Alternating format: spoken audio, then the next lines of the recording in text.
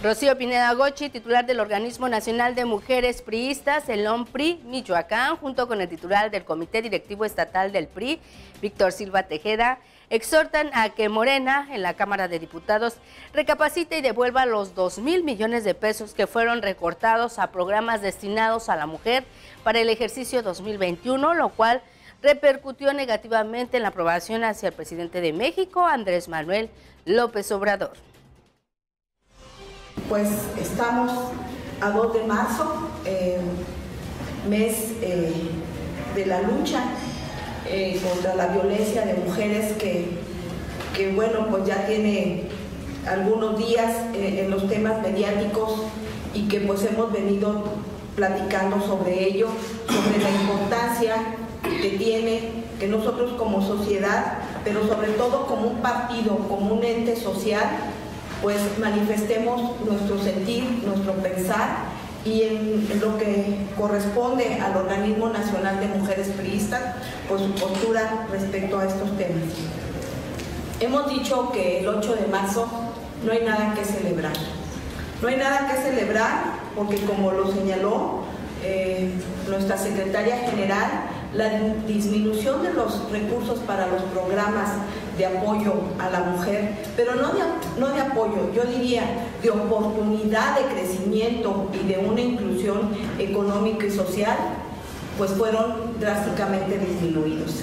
Y eso ha repercutido en la aprobación eh, concretamente de Andrés Manuel López Obrador. El promedio de aprobación, según Mitoski, a la fecha, que ha bajado el 0.7% esta semana, ya es la octava semana consecutiva que, baja la aprobación, hoy está en el 54.6.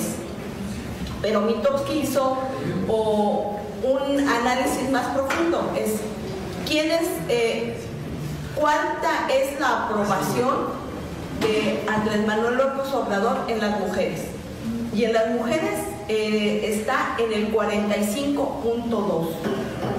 Una eh, pues reprobación total a las políticas públicas y al actuar que este gobierno federal está haciendo respecto pues a las mujeres.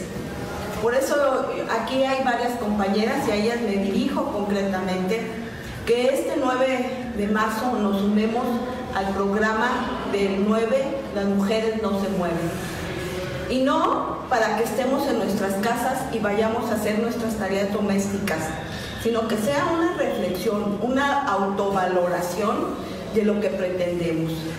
Este movimiento que empezó por un grupo de, mujeres veracruzanas ha tenido repercusiones incalculables de, suma y de simpatía de muchas instancias, de empresas incluso y, yo creo que este movimiento puede ser un parteaguas. Las cosas no se van a solucionar porque el 9 las mujeres no salgamos y no levantemos los brazos. Claro que no se van a solucionar por arte de magia, pero lo que sí podemos sembrar es un punto de partida, un punto de inflexión para que nuestro trabajo, nuestro desempeño, no se ha comparado con el de los hombres. Nosotros somos mujeres y actuamos diferente y hacemos política diferente.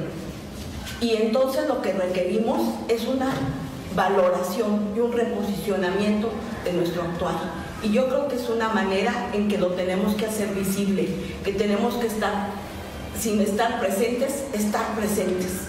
Y que nos sumemos en plena conciencia de que las cosas pueden ser diferentes y pueden ser más esperanzadoras.